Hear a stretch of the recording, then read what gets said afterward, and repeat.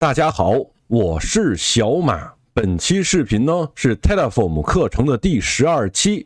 本期的主题呢，大家请看我的标题：变量之定义安全组。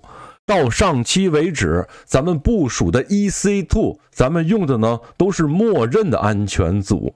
在咱们实际产品环境中，咱们要根据每个 EC2 的职能不同，咱们专门为它定义一个安全组。那么今天呢，咱们就为咱们生成的 EC2 资源去定义一个安全组吧。让咱们马上开始。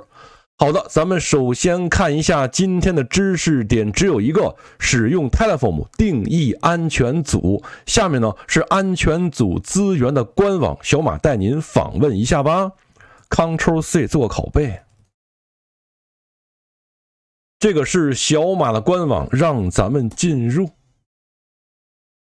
好的，大家请看，咱们呢就是使用这个 provider 的安全组的资源的定义，在这个网页当中给您详细描述了安全组的使用方式。小马觉得这个网页写的呢还是非常的不错，有兴趣的朋友呢您可以参照一下。好，回到小马的课件。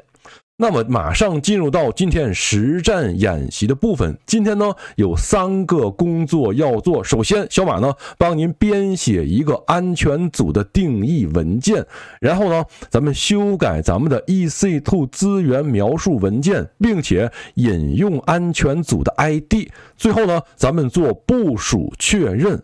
那么，在接下来的操作视频当中，小马就从零开始为您定义安全组，并且做 EC Two 的部署确认吧。